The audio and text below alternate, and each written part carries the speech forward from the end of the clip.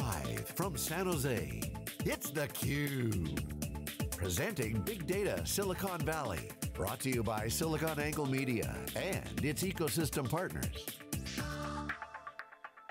Welcome back to theCUBE on day two of our coverage of our event, Big Data SV. I'm Lisa Martin, my co-host is Peter Burris. We are down the street from the Strata Data Conference. We've had a great day yesterday and great morning already, really learning and peeling back the layers of big data challenges, opportunities, next generation. We're welcoming back to theCUBE an alumni, the CMO of Kinetica, Dan Raskin. Hey Dan, welcome back to theCUBE. Thank you, thank you for having me.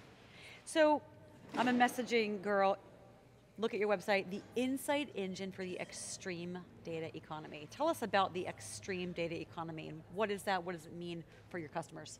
Yeah, so it's a great question, and you know, from our perspective, you know, we, we sit, we're here at Strata, and you see all the different vendors kind of talking about what's going on, and there's a little bit of word spaghetti out there that makes it really hard for customers to think about, you know, how big data is affecting them today, right? And so, what we're actually looking at is the idea of, you know, the world's changed, that, you know, big data from five years ago doesn't necessarily address all the use cases today. If you think about what customers are going through, you have more users, devices, and things coming on, there's more data coming back than ever before, um, and it's not just about um, creating the data-driven business and collect, building these massive data lakes that turn into data swamps, it's really about how do you create the data-powered business. So when we're using that term, we're really trying to call out that the world's changed, that in order for businesses to um, compete in this new world, they have to think about how to take data and create core IP that differentiates. How do I use it to affect the omni-channel? How do I use it to deal with new things in the realm of banking and fintech? How do I use it to uh, uh, you know, protect myself against disruption in telco? And so the extreme data economy is really this idea that you have business in motion, more things coming online ever before. How do I create a data strategy where data is infused in my business and creates core IP that helps me maintain category leadership or growth? So as you think about that challenge, mm -hmm. there's a number of technologies that come into play. Yep. Uh, not the least of which is the industry, while it's always to a degree been driven by what hardware can do, mm -hmm. that's moderated a bit over time. But mm -hmm. today, in many respects, a lot of what is possible is made possible mm -hmm. by what hardware can do and what hardware yep. is going to be able to do. We've been using similar AI algorithms for a long time. Yep. We didn't have the power to use them. Uh, we had access to data, but we didn't have the power to acquire it and bring it in. Right. So how is the relationship between your software and your platform and some of the new hardware that's mm -hmm. becoming available uh, starting to play out as a, in a way of creating value for customers. Right, so if you think about this in terms of this extreme data concept, and you think about it in terms of a couple of things. One, streaming data, just massive amounts of streaming data coming in, billions of rows that people want to take and translate into value. And that data is coming from? And that it's coming from users, devices, things, the interacting with all, all the different right. assets, more edge devices that are coming online. And uh, you know, the, the Wild West essentially. You know, you look at the world of IoT and it's absolutely insane with the number of protocols and device data that's coming back um, to a company. And then you think about how do you actually translate this into real-time insight. Not near real-time where it's taking seconds, but true millisecond response times where you can infuse this into your business. And what one of our whole uh, premises of Kinetica is the idea of this massive parallel compute. So the idea of not using CPUs anymore to actually drive the powering behind your intelligence, but leveraging GPUs. And if you think about this, a CPU has 64 cores, 64 parallel things that you can do at a time. A GPU can have up to 6,000 cores, 6,000 parallel things. So it's kind of like lizard brain versus modern brain. How do you actually create this next generation brain that has all these neural, neural networks for processing the data in a way that you couldn't?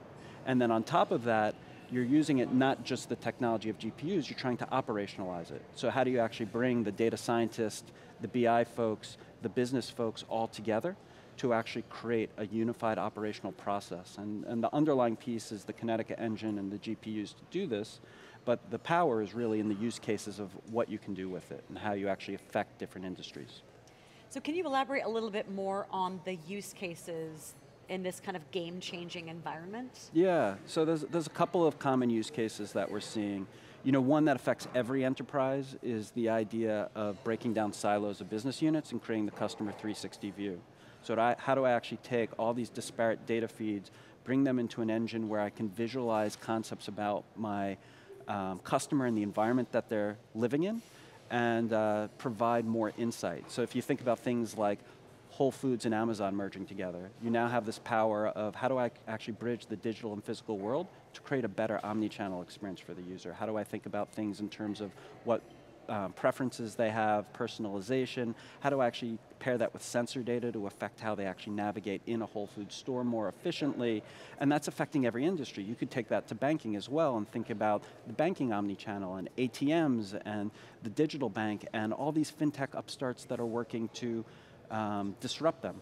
Um, a great example for us is the U United States Postal Service where we're actually looking at um, all the data, the environmental data, around uh, um, the, the, US Postal Service. We're able to visualize it in real time. We're able to affect um, the logistics of how they actually navigate through their routes. We're able to look at things like postal workers separating um, out of their zones and potentially kicking off alerts around that. So effectively making the business more efficient. But uh, you know, we've moved into this world where you know, we always used to talk about brick and mortar going to cloud. We're now in this world where the true value is how you bridge the digital and physical world and create more transformative experiences, and that's, that's what we want to do with data. So it could be logistics, it could be omni-channel, it could be security, you name it. it. It affects every single industry that we're talking about. So I got two questions. What is Kinetica's contribution mm -hmm. to mm-hmm. that?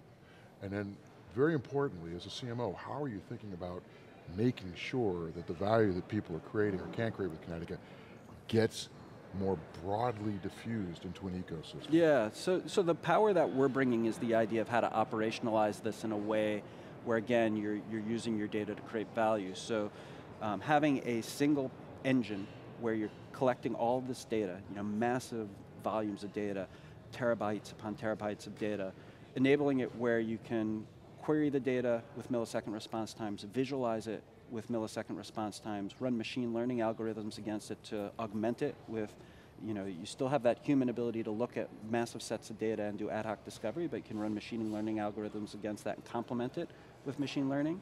And then the operational piece of bringing the data scientist into the same platform that the business is using, so you don't have data recency issues, is a really powerful mix.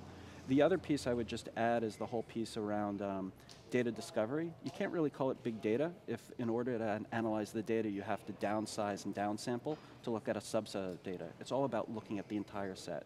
So that's where we really bring value. So to summarize very quickly, you are providing a platform that can run very, very fast in a parallel system and memories in these parallel systems so that large amounts of data can be acted upon. That's right. Right. So now, so the next question is, there's not going to be there's not going to be a billion people that are going to use your tool to do things. Mm -hmm. How are you going to work with an ecosystem and partners to get the value that you're able to create with this data out into the yeah, hands of enterprise? it's a great question and probably the biggest challenge that I have, which is how do you get above the word spaghetti and just get into education around this? And so I think um, you know the key is getting into examples of how it's affecting the industry. So don't talk about you know, the technology and streaming from Kafka into a GPU-powered engine, talk about the impact to the business in terms of what it brings in terms of the omni-channel. Um, you know, you look at something like uh, Japan in the 2020 Olympics, and you think about that in terms of telco, and how are the mobile providers going to be able to take all the data of what people are doing, and relate that to ad tech, to relate that to customer insight, to relate that to new business models of how they could sell the data. That's the world of education we have to focus on is talk about the transformative value it brings from the customer perspective, the outside in as opposed to the inside out. On that educational perspective, as a CMO, I'm sure you meet with a lot of customers. Do you find that you, you might be in this role of trying to help bridge the gaps between different roles in an organization where there's data silos and there's probably still some territorial culture going on? Yeah. What are you finding in terms of, of um, Kinetica's ability to really help educate and maybe bring more stakeholders, not just to the table, mm -hmm. but kind of build a foundation of, of collaboration? Yeah, so I, I, it's a really interesting question because I think it means, not just for Kinetica, but all vendors in the space have to get out of their comfort zone and just stop talking speeds and feeds and scale. And in fact, when we were looking at how to tell our story, we did an analysis of where most companies were talking, and they were, they were focusing a lot more on the technical aspirations that developer sell, which is important. You still need to court the developer, you have community right. products that they can download and kick the tires with, but we need to extend our dialogue, get out of our customer um, comfort zone and start talking more to CIOs, CTOs, CDOs, and that's just reaching out to different avenues of, of communication, different ways of engaging. Um, and so I, I think that's kind of a core piece that I'm taking away from Strata, is we, we do a wonderful job of speaking to developers. We all need to get out of our comfort zone and talk to um, a broader set of folks, right, business that folks. opens up so many new potential products, new revenue streams on the marketing side, being able to really target mm -hmm. your customer base audience with relevant, timely offers to be able to be more competitive. Yeah, the, the worst scenario is talking to um, an enterprise around the wonders of a technology that they're super excited about, but they don't know the use case that they're trying to solve. Start with the use case they're trying to solve. Start with thinking about how this could affect um, their position in the market and work on that in partnership. We have to do that in collaboration with the customers. We can't just do that alone. It's about building the partnership and learning together around how you use data in a different way. So as you imagine the investments that you're going to, Kinetica is going to make over the next few years with partners, with customers, what do you hope Kinetica will be in 2020? Yeah, so we want it to be that transformative engine for enterprises. Um, we think we are delivering something that's quite unique in the world, and you know, you, you want to see this on a global basis, affecting our customers' uh, value. I, I, almost want to take us out of the, the, the story, and if, if I'm successful, it, you're going to hear you know, wonderful enterprise companies across telco, banking, and, and other areas just telling their story, and we happen to be the engine behind it. So you're an ingredient in their success? Yes, a core ingredient in their success. So if we think about over the course of the next technology, set of technology mm -hmm. waves, are there any particular applications that you think you're going to be stronger in? So I'll give you an example. Uh, do, do you envision that Kinetica can have a major play in how automation happens inside infrastructure, mm -hmm. or how uh, developers start seeing patterns in data, and imagine how those assets get created. Where are some of the kind of practical, but not really, or really talked about applications that you might yeah. find yourselves becoming more of an ingredient because they themselves become ingredients to some of these other big use yep. cases. There, there are a lot of commonalities that we're starting to see, and the interesting piece is the architecture that you implement tends to be the same, but the context of how you talk about it and the impact it has tends to be different. So I already mentioned the customer 360 view. You know, first and foremost, break down silos across your organization, figure out how do you get your data into one place where you can um, run queries against it, you can visualize it, you can do machine learning analysis. That's a foundational element.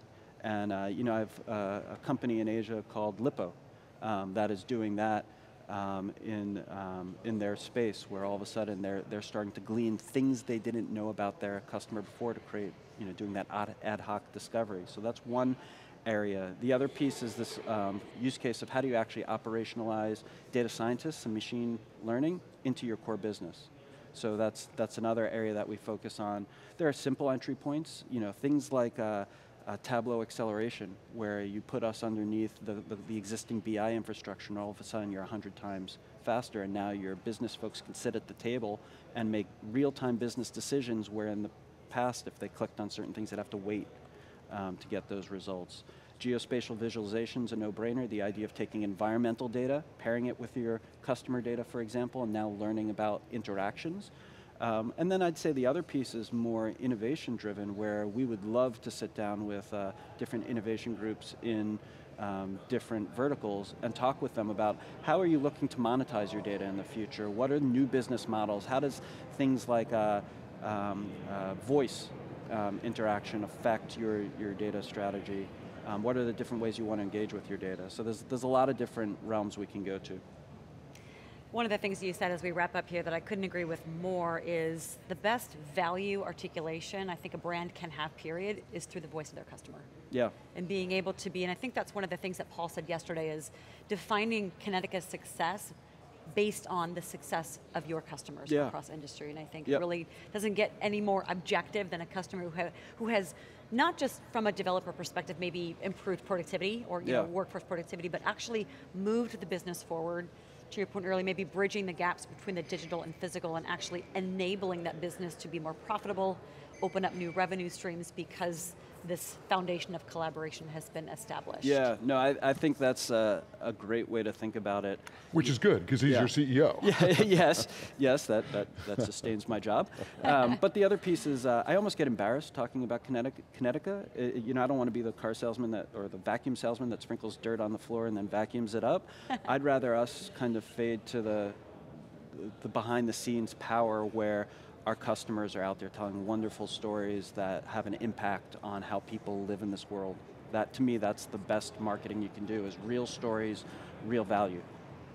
Couldn't agree more. Well, Dan, thanks so much for stopping by, sharing things that Kinetica is doing, some of the things you're hearing, and how you're working to really build this foundation of collaboration and enablement within your customers across industries.